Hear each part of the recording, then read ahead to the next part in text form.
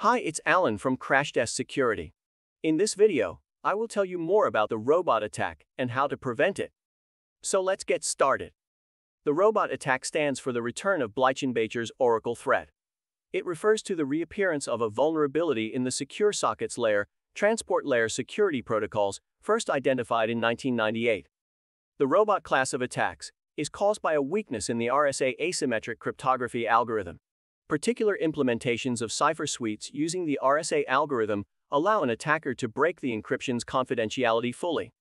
Here is what the return of Bleichenbacher's Oracle threat robot consists of, and what steps you can take to prevent it from impacting your systems.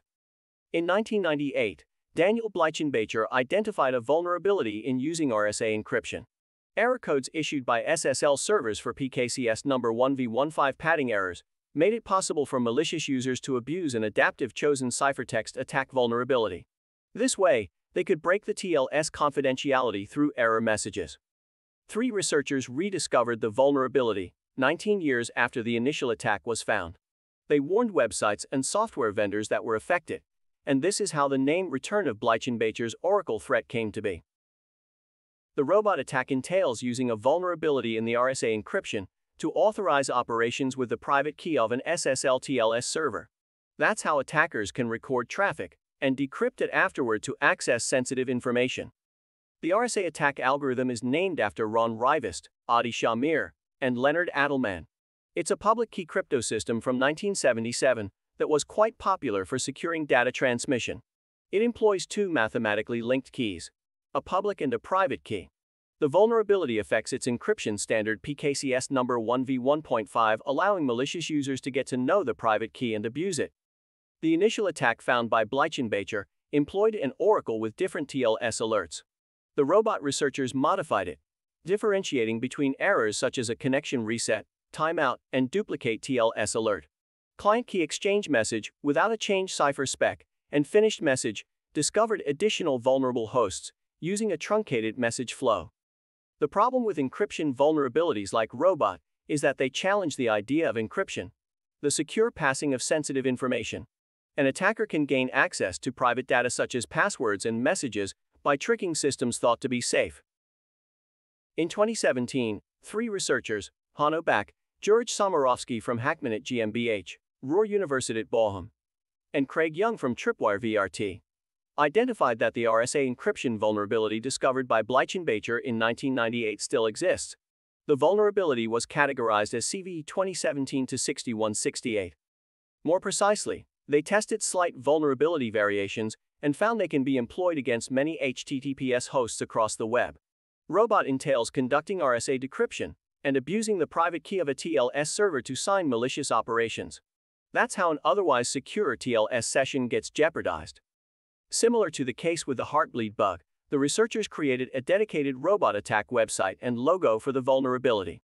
They also published their work in a paper, Return of Bleichenbacher's Oracle Threat, or How We Signed a Message with Facebook's Private Key, presented at the 27th Usenix Security Symposium.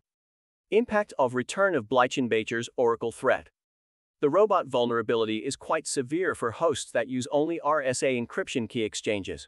In such cases, attackers can record SSL TLS traffic and use it for malicious purposes by later decryption.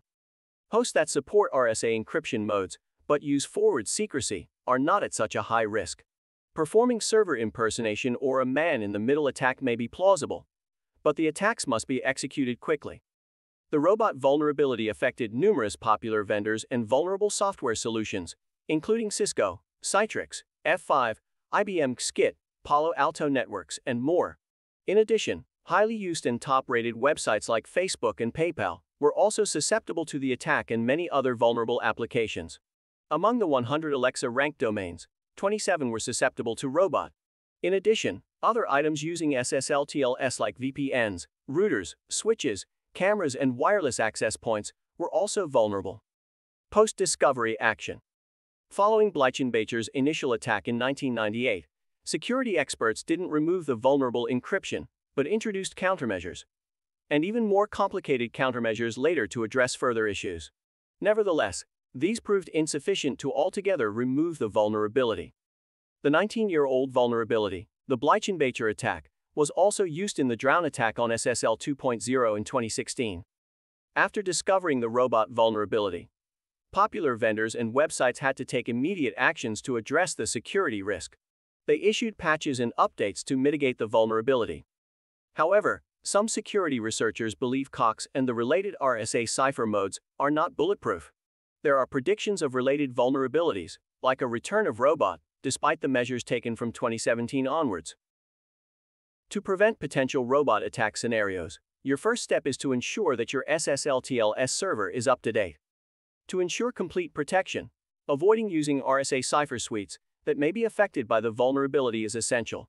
You can refer to our resource on Secure TLS configuration for guidelines on disabling these cipher suites. What's the state of your digital security, and how protected is your web app or API? You can use Crashtest Security's powerful vulnerability testing software to check for robot vulnerability and find out if any elements in your systems are susceptible to threats like it. Try Crashtest Security today to discover how it integrates into your development stack for efficient, automated vulnerability scanning. The trial is free. Also, subscribe to the Crashtest Security channel to get more information about the most significant web security threats, their prevention, and how to use the Crashtest Security Suite. Thank you for watching, and see you in our next video.